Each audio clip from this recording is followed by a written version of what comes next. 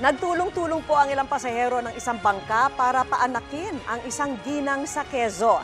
Sa Masbate naman, bumbero ang umalalay sa isang buntis. Nakatutok si Jessica Kalinog ng GMA Regional TV Balitang Bicolandia. Isang malusog na sanggol ang isinilang sa isang bangka habang nasa gitna ng karagatang sakop ng Bordeos, Quezon. Kwento ng pasaherong si Jomar Encina, patungo sa sentro ng naturang bayan ng mag-asawang sina LJ at Romnick Perez mula sa islang barangay ng Carlagan. Kabuanan na ng asawa nito kaya nagpasya na silang pumunta sa klinik para magpatingin.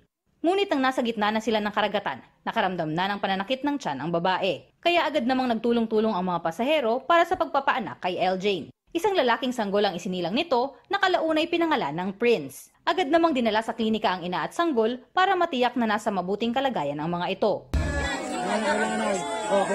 Sa Masbate naman, hinangaan ng mga tao ang isang kawani ng BFP Aroroy matapos nitong tulungan ng isang buntis na nanganak naman sa gilid ng kalsada. Kwento ni Fire Officer 3 Eldrin Cadiz. Patungo sana sa bayan ang babae kasama ang kanyang biyanan nang biglang sumakit na ang siya nito. Kung kaya nahiga na ito sa madamong bahagi sa gilid ng kalsada. Ayon pa kay Cadiz, maliban sa pagiging bumbero, isa rin siyang registered nurse. Kung kaya hindi na bago sa kanya ang ganitong sitwasyon.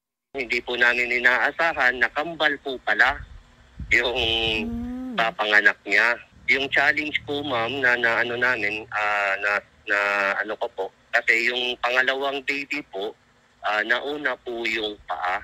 Tapos sa dahil po yung nanay nagiging ah, sumusunod naman po sa mga sinasabi ko, kaya na nairaos namin yung panganganak niya. Bilang pasasalamat ng mag-anak, ipinangalan sa naturang bombero ang isa sa kambal habang gagawin namang ninong ang lahat ng BFP personnel na tumulong sa pagpapaanak sa naturang babae.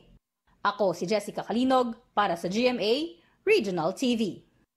Hindi natutulog ang mga balita. Kaya para sa pinakasariwang balita, mag-subscribe kayo sa aming YouTube channel.